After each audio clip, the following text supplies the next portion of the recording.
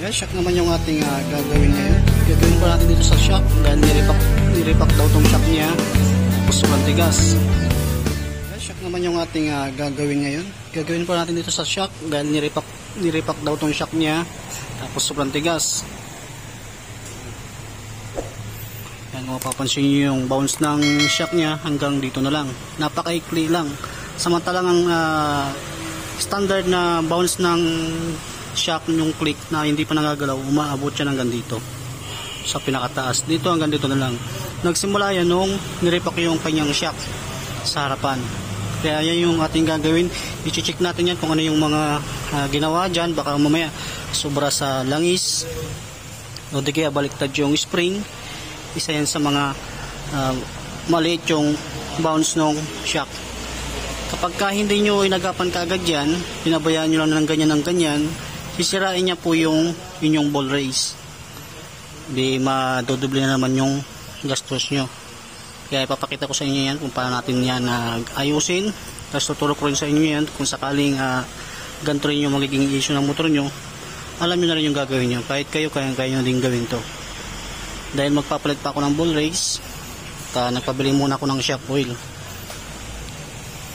Hindi ko na ipapakita sa inyo kung ano yung gagawin ko sa ball race dahil may mga video na akong na-upload na tulad nito.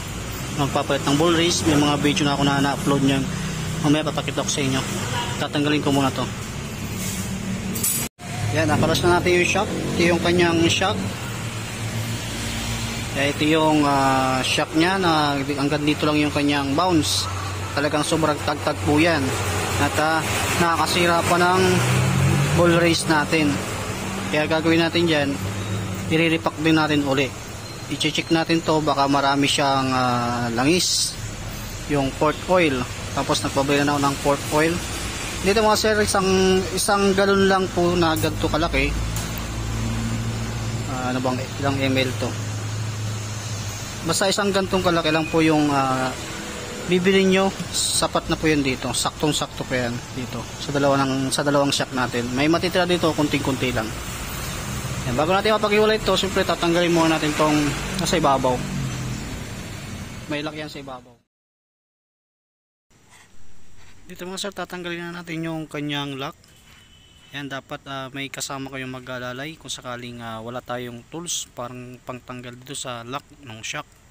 Yan, pwede nyo ipadiin. Tapos gamit kayo ng ah, flat screw na manipis para masungkit nyo yung lock ng shock. Medyo matigas lang talaga ng, ano, tanggalin to.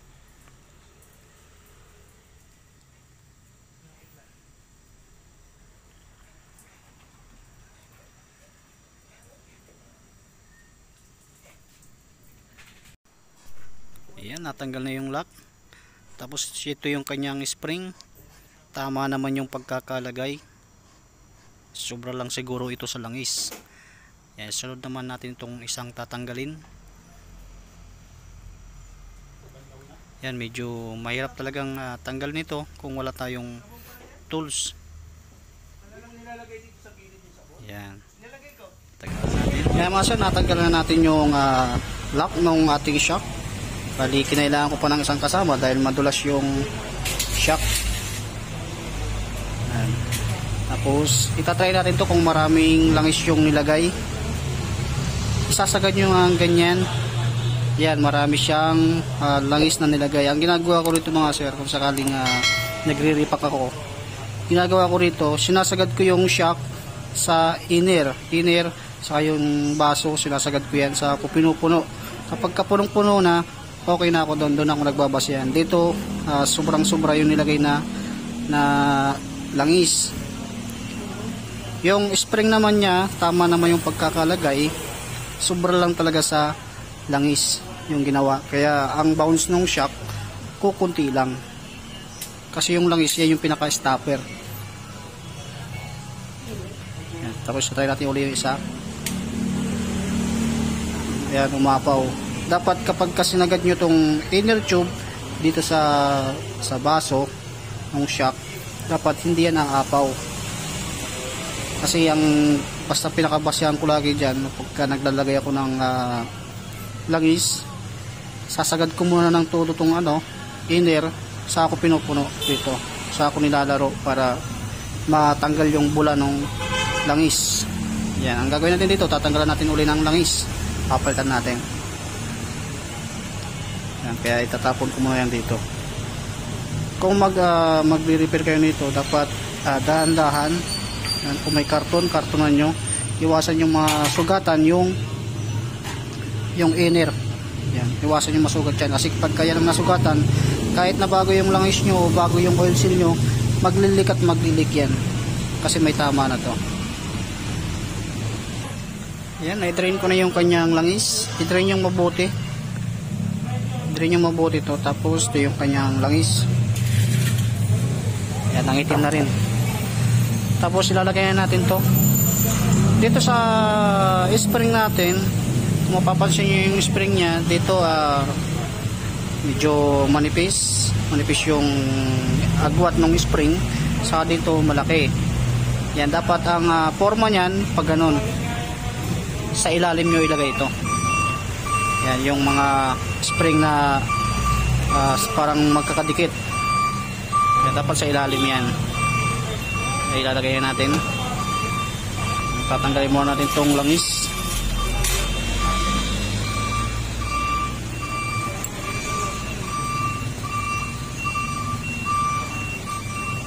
yan dapat sa ilalim yan tapos yung isa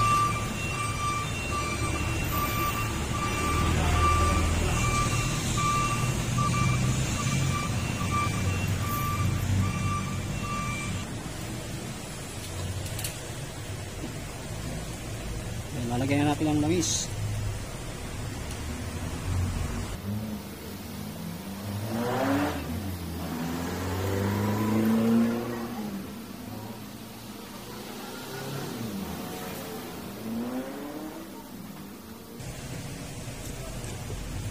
Dito mga sa kung maglalagay kayo ng langis, tatantyahin nyo po yan talaga.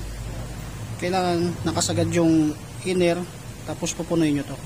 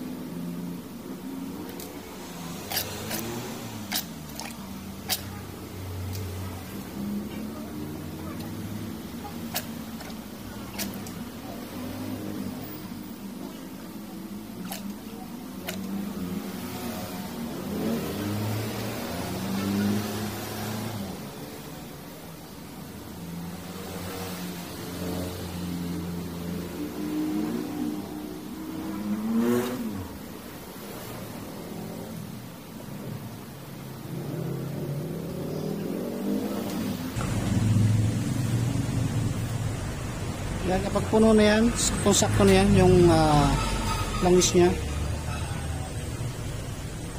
Yan, dapat ganyan. Punuin nyo to. Diyan ako nagbabas yan. Kapag ka okay na yung langis natin sa shock. Tapos lalagay natin yung yung lock niya.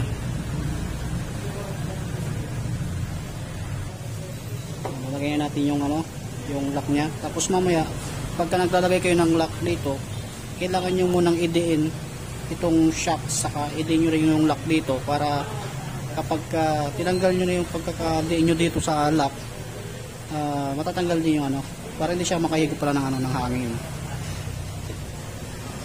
Lagayan natin to.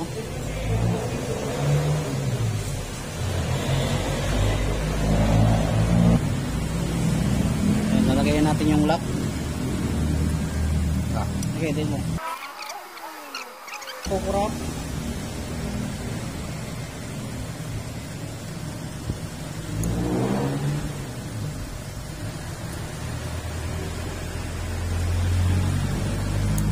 Okay, pitaw.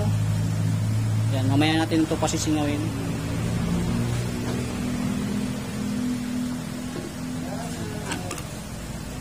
Lagay mo natin yung isa, lagyan mo natin siya ng lock.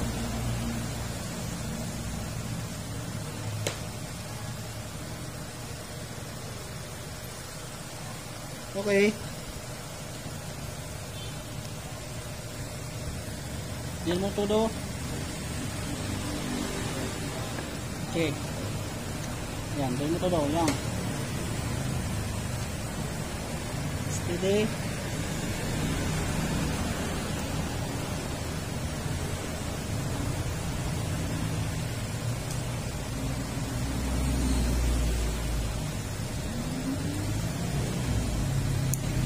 Okay. Thank you very much.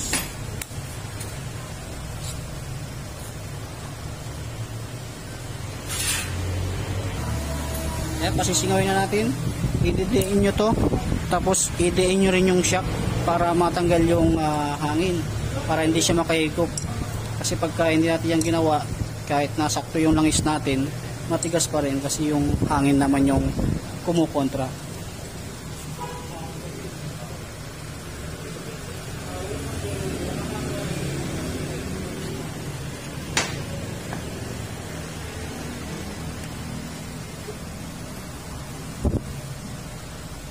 Tapos yung isa naman.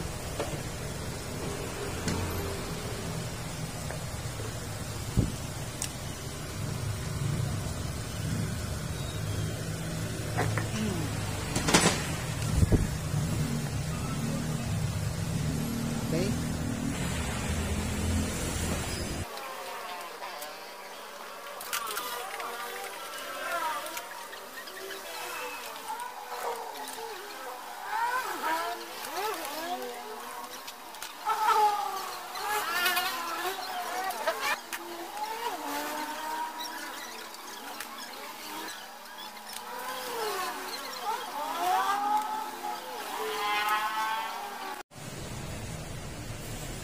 Ayan, naibalik naman natin lahat. Tapos, titesting natin itong i-bounce bounce. Ang malambot. Ayan, okay naman siya.